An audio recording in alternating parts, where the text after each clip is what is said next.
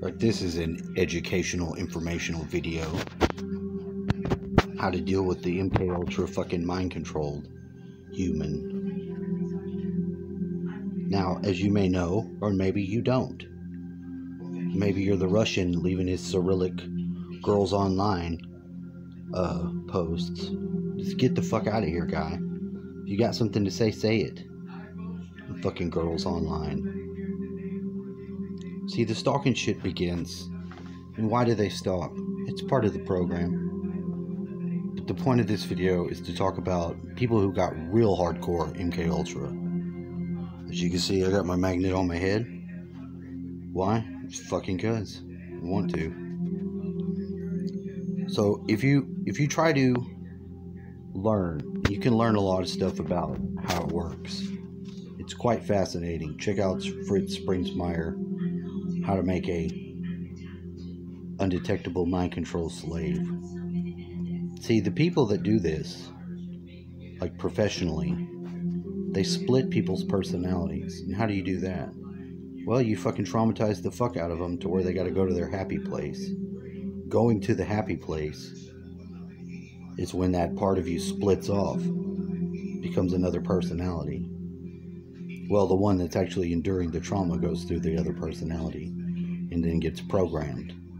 While the happy place, inner child thing is deep within the self, retreating and hiding. They have some weird core personality, front alters and back alters. Now, most of this they can do now with the electronics so there's not a fucking thing you can do about it. You're watching TV, you're getting it.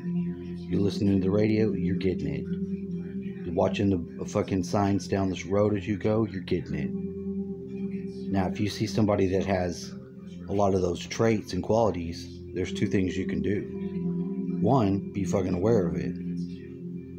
Because someone who's under mind control, which most people are to some degree, they're not going to be able to be real with you.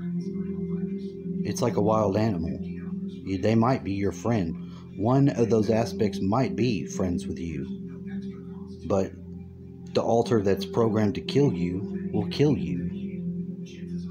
Take your shit, fuck you over, whatever it is that they got to do, they're going to do it because they're triggered and they're programmed. Most of them See, the people that, that are the wisest, or think they're the wisest, or the most sinister evil of all, have to use the, the women. They use the women for their honeypot, you know, because if you take the, the woman, you get the family. So you eliminate the father figure, and then it breaks down from there. And they've done a good success at this in our nation. You see, the fucking fathers are broken apart, they're not away from their kids some other fucking assholes uh, running the family and programming the kids or whatever. A lot of this goes on. There's a bunch of kids that don't even have dads. But when you find someone in this state, you can first, you're aware of it. If you're aware of it, you also have to know that you have programming too. That's what allows you to recognize the programming is a program. Now, but wait, don't lose heart yet. See, the whole point of the whole damn thing humans are a programmable species. Our soul programs itself into this body. The mind, the body, the spirit. You have a spirit because you are a spirit. You also have this body. You have other dimensional bodies and other shit too, but I'm talking about from the perspective of this reality. Now, this reality, where we live here on Earth in 2020, it's really fucked up because we've let so much shit go so far. And the people that make the fucking 500 year plans or whatever they do, they've been at it for quite a while. And they take their time because of the reptilian sort of uh, cold blooded, long lived nature that, you know, makes plans that transcend uh, lifetimes and shit. A human doesn't live very long. Think about if you were to live twice of your lifespan, what you could do and what you could learn and, and develop. You know, if somebody was able to live 80 years and still be young, they might be getting into some really advanced shit and just starting to do it. You know, so entities that can live, you know, multiple hundreds of years can advance their own technology or soul nature technology, of course, a lot further. So, if you try to make someone aware of shit, it's normally going to cost you something. But it is a labor of love because usually, once you pull that string to unravel uh, someone from uh, the veil of illusion that this is a normal world, nothing's going on here, it's worth doing it spiritually because it'll give them a foothold into getting back some sort of sensibility. It might take years, it might never happen, but you can at least say you've tried. You know, and if you can show someone things about reality that you experience that shouldn't be or shouldn't make sense, then there you go.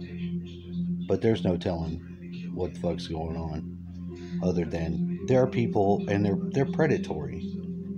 They're not trying to do anything. They don't believe in anything higher.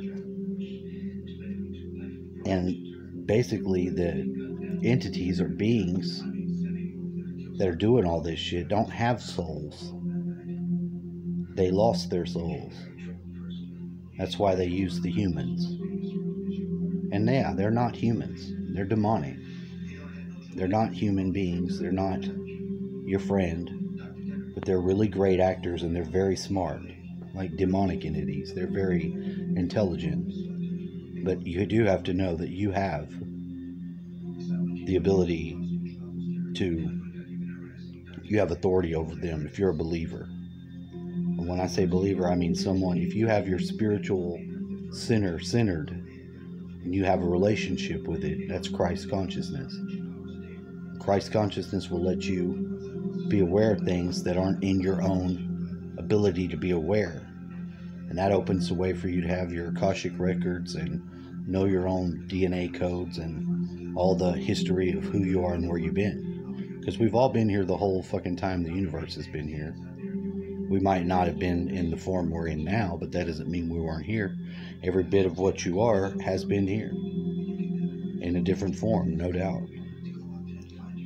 So, if you try to do that, try to do it, but you have to very much draw a line and know not to cross it and don't let it be crossed.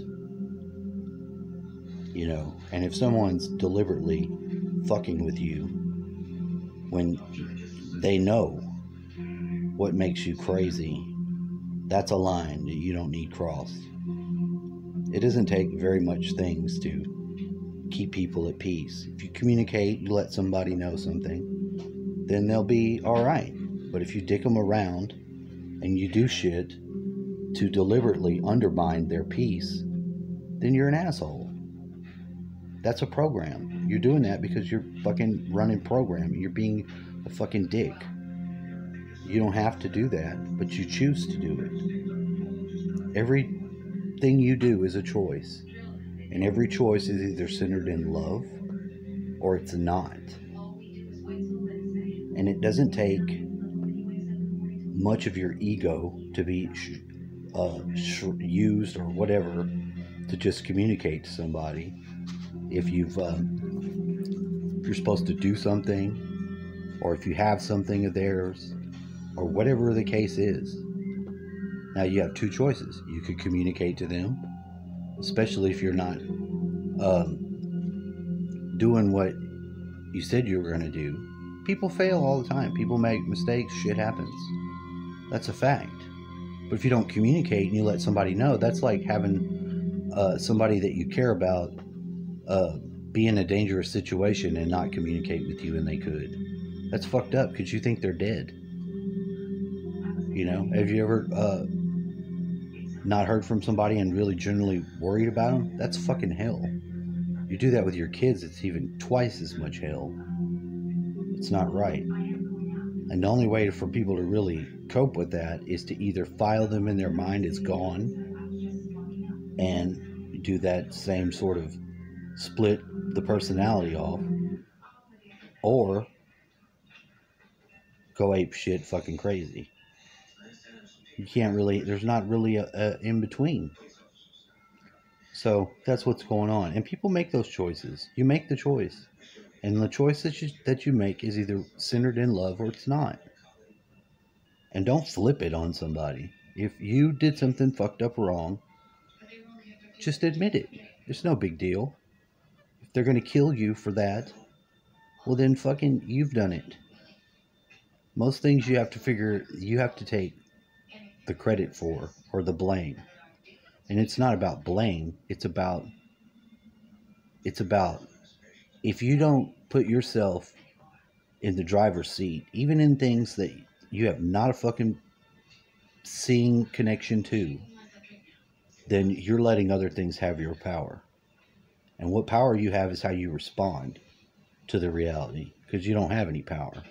There's nothing you can do to make your hair grow. There's nothing you can do, but your ability to choose and respond rather than react is your power. And that you should have. You should take a hold of. And if someone's fucking with you, is as an enemy, stalker, or just someone just not giving a shit about you and making it about them and not you, then cut those ties because they're not going to get any better. They don't care about their your, their self. They're not going to be able to care about you, and that's not worth it. That's all I got to say.